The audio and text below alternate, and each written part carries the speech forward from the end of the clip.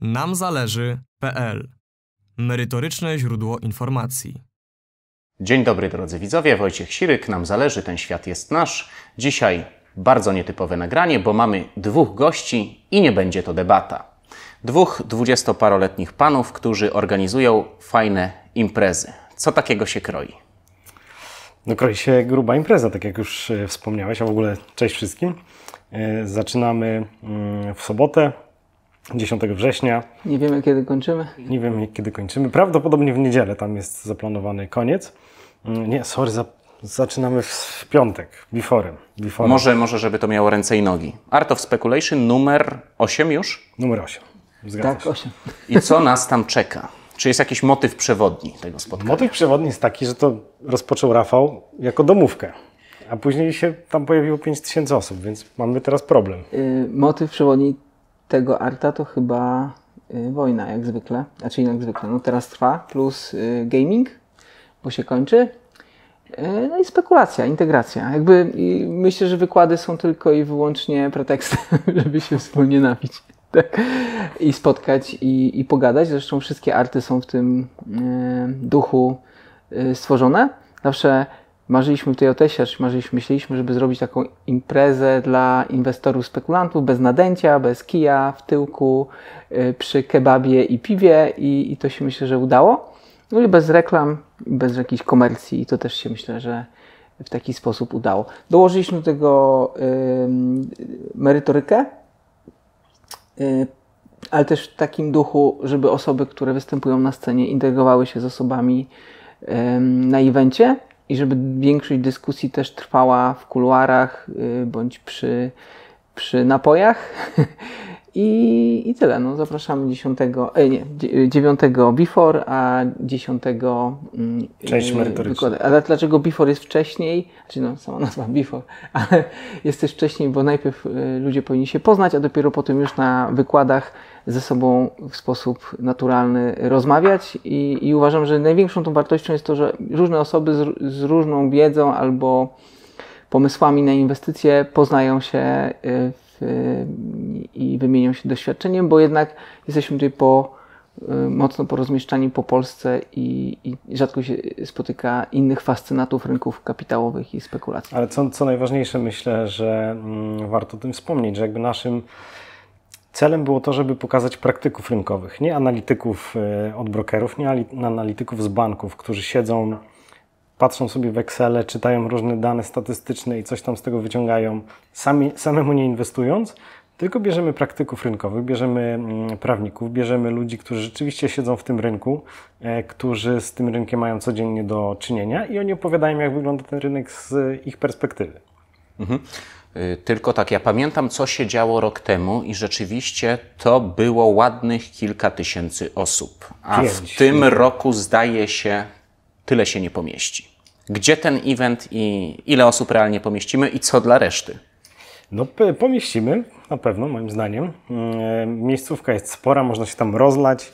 E, Tak jak zresztą w zeszłym roku robimy telewizory, e, robimy ekrany, LEDy, będą na zewnątrz, będzie nagłośnienie, także kto nie wejdzie do środka, ten spokojnie z zewnątrz będzie mógł sobie to oglądać. Plus, tak jak zauważyłeś, było trochę ludzi, było trochę ciasno, więc robimy w tym roku transmisję online. Kto się nie zmieści, to może wrócić do domu i sobie obejrzeć to w internecie. Tak. No i dodatkowo też y, po takim dużym obiekcie każdy będzie miał opaski, więc łatwo będzie się zidentyfikować e, i zagadać po prostu, bo po to, po to to jest, że, jeśli ktoś ma opaskę e, Art of Speculation i eventu, to mm, wie już y, z kim może pogadać, ewentualnie zagadać. No bo tych ludzi trzeba się jeszcze otworzyć, bo większość traderów, spekulantów siedzi w tych swoich własnych piwnicach i no, są takimi mm, introwertykami, którym ciężko zagadać. W, ne- w, necie, w necie są odważni, ale tak na żywo to, to słabo, nie? No. To jeszcze na sam koniec tematu tej imprezy zapytam o to, kogo konkretnie tam zobaczymy. Ja już zdradzę, że sam będę miał okazję po pierwsze poprowadzić yy, główną debatę i po drugie wygłosić króciutki wykład na temat tego, gdzie uciekać po wolność. No ale to tyle ode mnie. Kto jeszcze? Chciałem Ciebie zostawić jako niespodziankę, ale już zepsułeś całą niespodziankę, więc dziękuję bardzo. E, A zobaczymy między innymi e, naszego rzecznika traderów, e, czyli Ewelinę Podgrudną, która opowie o tym, jak wyglądają takie starcia jeśli coś nam się nie spodoba w usługach brokera, czy uważamy, że zostaliśmy oszukani, jak do tego podchodzić, tak jak walczyć o swoje, o swoje prawa. Zobaczymy mm, Jakuba Zgołę, który jest jednym z takich mm, traderów, który pokazuje to, jak, jak gra i on opowie o swoim podejściu do inwestowania, ale też o tym, jak e, inwestorzy poprzez lata, ci najwięksi inwestorzy, co mieli ze sobą wspólnego, jak wyglądał ich trading, jak wyglądało ich inwestowanie, jak na rynek patrzyli. E, czyli mówiąc w skrócie, co płynie w krwi tych największych, e, największych inwestorów. Później będziemy mieli tą debatę, o której mm, wspomniałeś. Będziemy mieli spojrzenie z dwóch stron świata, tak? Wschód versus zachód, które, które podejście jest lepsze. Teraz widzimy, jak na naszych oczach się to ściera mm, i zobaczymy, porozmawiamy sobie o tym, e, czy właściwie porozmawiacie o tym, które z tych podejść może wygrać, które z tych podejść może wygrać w konkretnym, w konkretnym kontekście, tak? bo nie wszystkie, się, nie wszystkie są dobre rozwiązania uniwersalne, tylko niektóre się sprawdzają w konkretnym, w konkretnym jakby ustawieniu. Pojawi się też Michał Żoławiński, który opowie o tym, dlaczego, to myślę, że będzie ciekawe dla szczególnie początkujących inwestorów, którzy się tym mocno sugerują, dlaczego jeśli coś się pojawia na okładce, to zwykle to oznacza tego czegoś koniec. Czyli jeśli słyszymy o jakiejś świetnej grze, która ma niedługo wyjść, i później następuje wielki krach na akcjach spółki, która tą grę wypuszczała. Dlaczego tak się dzieje? Dlaczego te hypy, tak kolokwialnie mówiąc, oznaczają to, że dany temat się już kończy. E, pojawi się też dr Błażej Podgórski, który opowie o tym, jak sankcje są wykorzystywane jako narzędzie wojny i czy w ogóle one się sprawdzają i czy się sprawdzały kiedykolwiek e, w historii. Pojawi się też Artur Granicki, który, którego znacie już z poprzednich artów i opowie o tym, gdzie na inwestorów zastawione są pułapki w pre-IPO, w mm, crowdfundingu i w takich wczesnych formach inwestowania, gdzie inwestor teoretycznie może bardzo dużo zarobić, mm, bo zwykle we wczesnym etapie się zarabia dosyć dobrze, ale w związku z tym, że tam jest sporo pułapek, to niestety może taki mm, inwestor też dużo stracić i Artur właśnie o tym nam opowie, e, gdzie takie pułapki są zastawione, jak ich uniknąć, Mm, jak się nie dać, e, nie dać nabrać. E, pojawi się też Mateusz Marcinkiewicz, który zarządzał kilkoma funduszami inwestycyjnymi i opowie o tym, jak wygląda rynek finansowy od strony mm, tego mitycznego grubasa, tak, który teoretycznie wie więcej niż cała reszta tego detalu, tego całego tam narybku, który teoretycznie jest wyciskany z, z kasy. E, pojawi się też Radosław Kotowski, który opowie o tym, jak gaming się tworzył i jak się skończył niedawno. Y, tym... Chodzi też o bańki spekulacyjne. No, pierwsza bańka spekulacyjna w latach 80. na gamingu, czyli na gamingu, bo w latach 80. i na pierwszych mikrokomputerach 8-bitowych. No i skończyła się zakopaniem gry E.T. gdzieś tam na pustyni w Arizonie, gdzieś tam w Stanach, ile pamiętam, nie? Y, ale to nie zmieniło tego, że gry są, stały się częścią gospodarki i tej filmy jako mówię o sobie 40-latkowie, którzy byli straszeni w latach, jak mieliśmy 15 lat, 14, że nam, nie wiem, ręce odpadną od tego joysticka. No teraz staliśmy się konsumentami yy, tych gier i tworzymy nową gospodarkę, dzięki czemu no, te wzrosty na gamingu mogły być. Ale też porozmawiamy o samym gamingu historycznie pod, pod kątem baniek spekulacyjnych. Będzie też jeszcze Sugalski, który opowie o, mm, który będzie odpowiadał na pytania, y, co dalej z tym gamingiem na giełdzie i to myślę, że takie jedne z praktycznych y, tutaj wystąpień. Nie? Dobra, to może tyle ta impreza. Link zostawimy w opisie filmu. Myślę, że została solidnie zareklamowana, więc kto zechce, ten no, później przyjdzie. Już, już oczywiście to piwo bezalkoholowe. Do białego. A i zespół będzie fajny grał, nie? A, tak, to jest rzeczywiście. Bardzo fajny nam zespół się trafił, a właściwie zostali, został nam polecony. The Very Polish Cutouts. Poszukajcie sobie na YouTubie, naprawdę świetna muzyka. Ok, wszystko wiemy, reszta w opisie filmu w formie odnośnika. Y, Rafał, pytanie do Ciebie jako do naszego celebryty. Y, powiem Ci, że ten po, po, poprzedni sezon Twoich przygód, ta końcówka tamtego sezonu nie do końca mi się podobała, bo za końcówkę tamtego sezonu uznaję debatę z Kamilem Gancarzem, na którą przyszedłeś i właściwie tak to wyglądało, jakbyś y, nie chciał tam przychodzić. Więc y, z mojej strony, bo ja to organizowałem, no trochę słabe. No ale teraz wakacje się kończą, no i nowy sezon. Więc co nas czeka w nowym sezonie? E, no rzeczywiście, nie chciało mi się już, byłem zmęczony. Zresztą byłem po wakacjach. Chciało mi się kłócić tam jakieś takie dywagacje niezbyt specjalnie mnie interesujące, bo są około rynkowe. E, czy szkolenia są dobre, czy nie i tak dalej. Rynek jest najważniejszy. No ale to, sam, dobrze wiesz, że sam wywołałeś ten temat, więc y, potem tak, ale- miesiącami było to przekładane, no i w końcu przychodzi ten dzień, a tobie się nie chce i rzucasz tam na Twitterze, że a w sumie to mi się nie chce. No bo ile można męczyć y, temat? Y, Ja za, za, y, zakładam się, że za parę miesięcy wyskoczy kolejna osoba, która będzie chciała mi udowodnić, że analiza techniczna działa, albo że szkoleniowcy nie są tacy źli i, i tak dalej. Y, I pewnie, pewnie też będzie y, teoretycznie z rynku, ale będzie ciągle zainteresowana tym, żeby sprzedawać szkolenia. Mnie to nie interesuje, mnie interesuje rynek. Co się stanie na Tetherze, co się stanie na WIG-20, y, czy będzie jakieś odbicie teraz na rynkach. O, i to jest mm, warte rozmowy. A takie dyskusje o rzeczach dla mnie pobocznych, bardziej ideologicznych, yy, no, odciągają mnie od spraw zawodowych, czyli przewidywania rynku. Nie? Tym, Okej, bardziej, tym bardziej, że to jest. To są sprawy, o których TJS mówi od samego początku, jak, jak TJS powstał. Się jest nic nowego nie pojawia. Tak? Że, nie? że szkolenia są złe, jeśli ktoś potrafi zarabiać, to sobie zarabia na rynku yy, i nie trzeba młodym inwestorom wciskać ciemnoty, że mogą zarobić, jak im się dwie kreski na wykresie przetną. Mhm. To jest nic odkrywczego, nie? No dobra, czyli jak rozumiem, w tym sezonie już takich tematów pobocznych za bardzo nie będzie, to w takim Nie, razie no- no- co reżyser i no scenarzyści pewnie. przygotowali? Będą pewnie, no bo znowu dobierzemy się do dupy. Tak, o Was mówię tutaj. Różni szkoleniowcy, pewnie będziemy Was cisnąć i bekę Was kręcić, ale już mi się nie chce z Wami po prostu wspierać w jakichś debatach. To jest strata czasu po prostu. Wszystko, co było powiedziane, to by- było powiedziane. Po prostu będziemy Was grillować y, tak dla, dla zabawy i w wolnym czasie. A, y, coś powiedziałeś? Że... Co w nowym sezonie? Już zamknijmy temat tamtego sezonu. Co na rynkach może, co w gospodarce, to ludzi interesuje najbardziej. No, uważam, że końcówka roku będzie ciekawa, ale nie tak ciekawa jak rok temu. Czyli ten sezon, y, który rozpoczynałem we wrześniu, bo już teraz zacząłem więcej operacji robić, będzie mniej wydarzeń niż w tamtym, w tamtym roku, więc mniej teoretycznie pieniędzy do zarobienia, a ewentualnie większe ryzyko. Y, Ale mam kilka takich eventów, które chcę przeprowadzić i jednym z takich eventów jest na pewno krypto w październiku. Potencjalny oczywiście e, rywalizacja pomiędzy USDC a Tetherem. Dlatego też między innymi teraz trzymam Bitcoina e, na longi. E, Uważam, że powinien wzrosnąć do tego momentu i tam dużo rzeczy się pewnie e, rozegra. Rynek w tej chwili jest bardzo wyprzedany. wyprzedany. Nagrywamy to dzisiaj, który jest 30 sierpnia. Bitcoin jest tam po 20,5 tysiąca dolarów.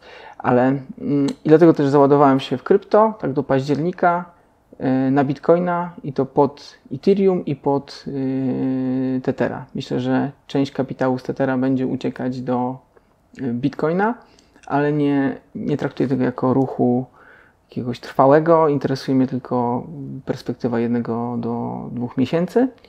Jednocześnie też jestem nastawiony byczo na WIG-20, ale to jest termin rok, dwa nawet, trzymania i rolowania pozycji. Yy, I yy, końcówka roku yy, na eurodolarze i ujku, czyli USD jen japoński i to w kontekście osłabienia dolara. Uważam, że to jest jeden ze stałych elementów gry, który często przeprowadza na koniec roku. Państwa, które rozliczają się z różnych kursów walutowych kursem referencyjnym, na przykład na koniec roku, tak jak w Polsce, kurs z końcówki roku potra- potrafi być w różnych rozliczeniach używany na cały rok. Y, Uważam, że ten, ten okres jest często mani- manipulowany. Tak jak w tamtym roku też nasz kochany Glapiński też cisnął y, złotówkę. Y, I myślę, że w tym roku też do takich manipulacji na rynku dojdzie. Tylko, że o ile inwestorzy indywidualni bądź fundusze nie mogą tego robić, tak, że, tak jak banki centralne, to robią to z pełnym przyzwoleniem prawa i mają do tego potencjalnie prawo. Im się nic nie dzieje z tego tytułu. I pod to będę grał, nie? Ale to też wynika z takiej teorii, że rynki nie są efektywne i y, są gracze albo kapitał, który gra z intencją. I myślę, że na koniec roku ta intencja na euro-dolarze będzie i na ujku. Euro-dolar odbicie od parytetu, myślę, że będzie wyżej niż, będzie ponad parytetem. i tak samo ujek niżej. I zobaczymy. Może to się zmieni w ciągu miesiąca, zobaczymy, co przyniesie październik. Dla mnie on jest taki kluczowy. W tej chwili kończą się wakacje. E, kończy się, kończą się wakacje dla nie tylko traderów, ale funduszy i na koniec roku dużo kapitału będzie grało z intencją na końcówkę i na rozliczenie. I nie, no nie muszę wspominać, że fundusze też akcyjne będą się rozliczać, window dressing może się pojawić i tego typu historie. Podzielasz, Kuba, tę opinię, że końcówka tego roku będzie mniej ciekawa niż końcówka, końcówka poprzedniego roku? Czy będzie mniej ciekawa? No na pewno, bo wtedy byliśmy tam jeszcze w okresie tej mm, pandemii, tak? Się tam zamykaliśmy, otwieraliśmy, nikt nie wiedział, czy te święta będą, czy nie będzie świąt, czy będzie można się spotkać, czy nie będzie się można spotkać, więc ten, teraz na pewno będzie spokojniej.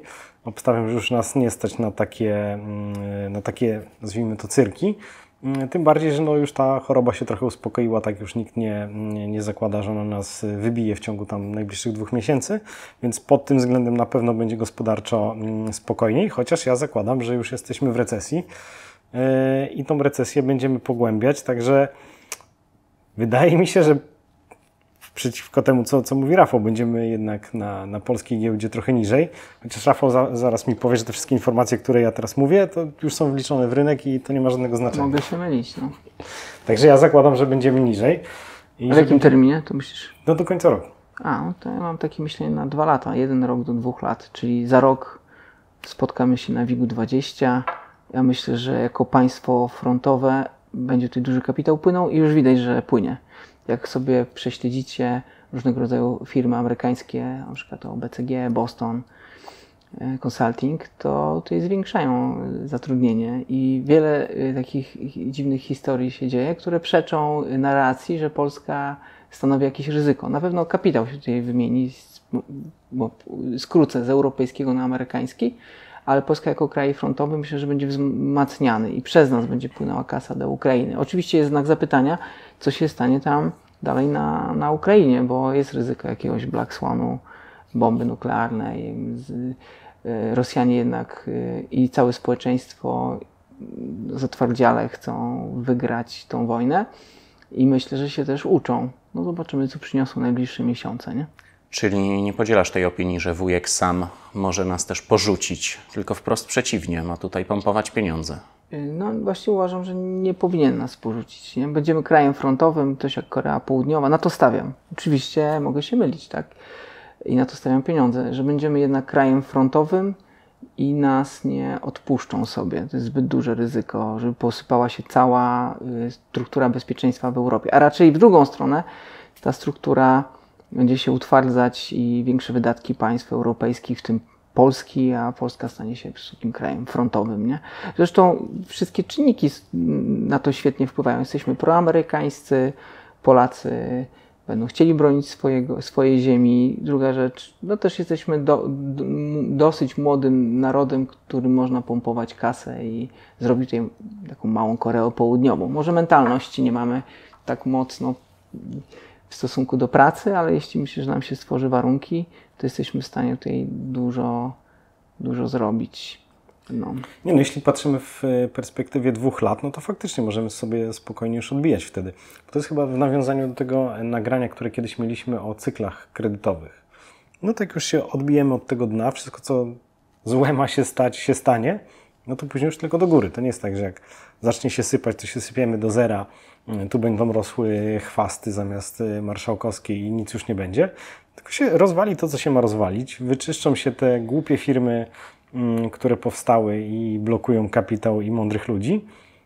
No i później już tylko do góry. Jeszcze jest jedna kwestia, jak spojrzymy na WIG20 wyrażony w złocie bądź w dolarze, to jesteśmy na jakichś totalnych minimach na poziomie z 2000 roku.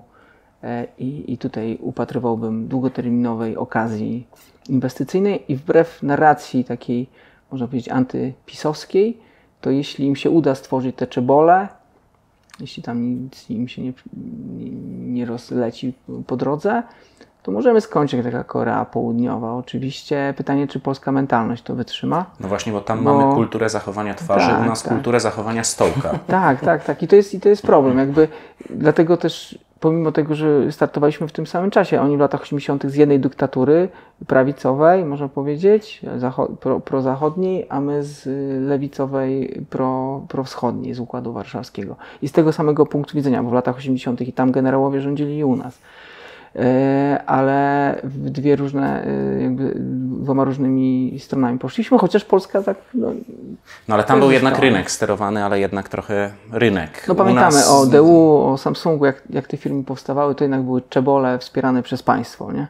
I, I tutaj PiS widzę, że próbuje to powtórzyć. A, żeby była jasność, my jako spekulanci jesteśmy totalnie apolityczni dla mnie nie ma znaczenia, która partia zbytnio rządzi, bo muszę być neutralny do swoich opinii. Po prostu inaczej na mojej łodzi ustawiam żagle albo w jedną, albo w drugą stronę i próbuję przewidywać przyszłość. Więc jakby rozumiem, w jakim kierunku chcą zmierzać z tymi wielkimi czebolami polskimi, jakbym ich nazwał. Pytanie, czy im się to uda i uważam, że jeśli będzie za tym stała Ameryka, będziemy krajem frontowym, to nieważne kto w Polsce będzie rządził, to im się uda, nie? Przynajmniej będzie dopompowane y, kasą. No bo musimy tu mieć zawarty naród, jakąś armię, y, przemysł, który będzie tą armię wspierał i wtedy będziemy realizować cele y, Ameryki, bo jesteśmy jednak krajem wasalnym nie? i ciężko nam prowadzić własną politykę poza granicami, które nam wyznaczy hegemon. Nie? Ile ty tam byłeś w wakacje w Stanach Zjednoczonych? No, z trzy tygodnie tam sobie po. Trzy tygodnie, a jak cię ładnie przemaglowali, widzę. Nie, ja tak, jak porównacie moje nagrania sprzed Stanów, jakby są podobne. Jakby trochę zmieniłem myślenie na. Znaczy, zobaczyłem, jak to wygląda od środka. Że nie ale, wygląda tak ładnie. Nie, ale to był bardziej taki historyczny wyjazd y, śladami rewolucji amerykańskiej. Sobie chciałem prześledzić, jak te armie tam y, chodziły i czy jakieś y, pozostałości tej kultury tego zwycięstwa rewolucyjnego gdzieś zostały i zostały. Łatwo stwierdziłem, że łatwo zostać Amerykaninem, bo na paradzie czujesz się związany z tymi samymi e, hasłami. O, ile, o wiele gorzej, ciężko było ci zostać na przykład takim Chińczykiem, bo jednak nie czujesz się związany z tą, z tą nacją, a Amerykaninem bez względu na to, e, gdzie się urodziłeś, łatwo zostać, bo te wartości dla każdego człowieka są wspólne, no i nie ma e, jednoznacznej tożsamości może być kulturowej albo narodowej, można ją przeskoczyć, nie? I pójdziesz na paradę i będziesz czuł się Amerykaninem, bo te wartości są ci bliskie. Razem, jak, jak poznasz jeszcze historię Stanów y, Zjednoczonych. I tutaj widzę bardzo dużą przewagę USA. Wiem, że niedocenianą, ale pod względem prawa i poszanowania jednostki nadal jest to kraj stojący wyżej niż takie, takie Chiny, nie? No poza tym oni eksportują kulturę, tak, swoją na, całą, na cały praktycznie wolny świat, nie? Cała Europa się na tym wychowała. Te tematy przerabialiśmy już tak naprawdę tak. wielokrotnie, więc może w to nie wchodźmy. Ja bym pociągnął jeszcze wątek Polski, bo wakacje kończy również Rada Polityki Pieniężnej. I takie pytanie do Kuby, czego ciekawego się spodziewamy? Bo chyba tam będzie pewien dylemat. Niby pasowałoby stopy w górę, ale mamy to spowolnienie, a niektórzy mówią, że właśnie recesja. To niestety wszystkie banki centralne się w to wpakowały, w taki kozi róg. Mm, I teraz wszystko jedno, co zrobią, to będzie źle podniosą stopy, żeby zbić inflację, no to sobie rozwalą gospodarkę. Nie podniosą, no to sobie napędzą inflację i, i też sobie w konsekwencji rozwalą gospodarkę. Więc oni muszą teraz nawigować w takim bardzo wąskim zakresie, próbując zgadnąć, mm, gdzie jest ten złoty środek, ale tego nie da się w żaden sposób policzyć, oni to muszą zrobić doświadczalnie, tak? no, trochę tak na czuja, gdzie ustawić te stopy, żeby ani nie rozwalić sobie mm, gospodarki przez inflację, ani nie rozwalić sobie e, gospodarki przez zbyt wysokie stopy. Tak? Już teraz widzimy, co się stało z nieruchomościami. Mm, kredyty hipoteczne spadły na łeb na szyję. Mm, nieruchomości się nie sprzedają, nie sprzedają. W Chinach zresztą stało się podobnie. Tam nieruchomości, sprzedaż nieruchomości spadła blisko pomiędzy 70 a 80%. Teraz już bank chiński zaczął ciąć stopy, żeby to trochę rozruszać. Mm, e, więc no, wszystkie banki wpakowały się w taki bigos, z którego będzie im teraz bardzo ciężko wyjść. E, I w Polsce mamy dokładnie taką samą sytuację. Tak? Jeśli podniesiemy te stopy za wysoko, no to rynek nieruchomości już tam kompletnie padnie, bo nikogo nie będzie stać na. Chyba zresztą o tym rozmawialiśmy ostatnio. Także takiego zwykłego człowieka to już praktycznie nie stać na, na mieszkanie w Warszawie, e, bo nie ma zdolności kredytowej. Przez to, jak jest, liczona, jak jest liczona zdolność kredytowa? Jeżeli chodzi o stopy w Polsce, no to teraz mamy referencyjną 6,5 Niektórzy mówią, że to już koniec, no ale z tego, co czytam w ostatnich dniach, większość ekonomistów twierdzi, że no jeszcze nie, jeszcze trochę w górę. No, ale 7,5, może Ale ciut zgodnie więcej. z rekomendacją KNF musisz do tego doliczyć 5 i wtedy sobie od tego liczysz zdolność kredytową. Tylko, że z drugiej strony podobno znowuż wchodzi jakieś, czy ma wejść jakieś rozluźnienie, jeżeli chodzi o te kredyty. No bo rynek nieruchomości jest całkiem sporym y, częścią gospodarki. Więc jeśli to nam stanie, no to i masa budowlańców, masa wykończeniowców, masa y, ludzi zajmujących się meblami, to traci pracę. Tak? No nikt to w takim razie co zrobią nasi decyzyjni, szczególnie, że wybory za dokładnie rok? Moim zdaniem podniosą stopy i wrzucą jakieś dodatkowe plusy. Tak, żeby w ich ocenie wilk był syty i owce cała. Muszą zadbać o wyborców, a większość wyborców y, należy do tej grupy osób, które potrzebują pomocy państwa, nie? więc łatwo ich y, w państwie populistycznym przekupić, ale zresztą wszystkie państwa to robią, więc y, jakby ciężko oceniać to y, moralnie. Raczej staramy się przewidzieć, co, y, co zrobią rządzący i żeby uratować y, się w wyborach, będą musieli pewnie jakieś dodatkowe 500 plus y, stworzyć. Ja nie uważam, że to by było aż takie złe, bo nie rozpatruję mm, gospodarki w takich płytkich wskaźnikach. Dla mnie, z mojej pers- perspektywy, sama inflacja tego typu, którą mamy w Polsce, no, spowoduje jakieś perturbacje na rynku, ale potem będziemy silniejsi, nie? Tak uważam. Ceny wzrosną, trochę inaczej będziemy liczyć y, się za bułkę, za masło. Oczywiście najbiedniejsi dostaną po dupie, bo trzeba zawsze się z tym liczyć, że inflacja dotyka e, na samym końcu e, zwykłego konsumenta i to on odczuwa tą presję, że najpierw płaci więcej, a dopiero potem jego pensja wzrasta. Ale też y, jeśli wracamy do giełdy, y, no, giełda musi rosnąć w środowisku inflacyjnym. Nie ma innej opcji. No. Firmy będą więcej wydawać, będą znaczy więcej zarabiać y, pod względem nominalnym. Wszystko gdzieś tam będzie rosło. No w ostatnich miesiącach to ta nasza giełda nie chciała rosnąć. No ale to zawsze tak jest. No. Ten efekt poczekamy, nie? Tak uważam. Nie? Dlatego mówię o tym, tym w kategoriach roku dwóch. No i indeks WIG20 jest bardzo nisko obecnie, wyliczany w dolarach i w dolarze, yy, czy w złocie, tak, ale yy, przede wszystkim na WIG20 mm, o wiele większe, o większe znaczenie ma wojna za naszymi granicami i w tej chwili przetasowanie funduszach y, inwestycyjnych. I tutaj polecam sobie za- zapoznać, jak wygląda, wyglądały wszystkie konflikty w latach 70., kiedy Korea Południowa i Północna mm, gdzieś tam jeszcze się ostrzeliwały.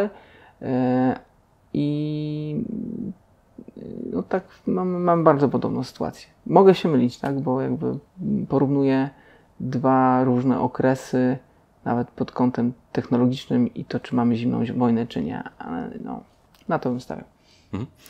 Z- tak z ciekawości zapytam, wiesz jaka ma być podobno inflacja w styczniu? Ile tam mogą nam pokazać?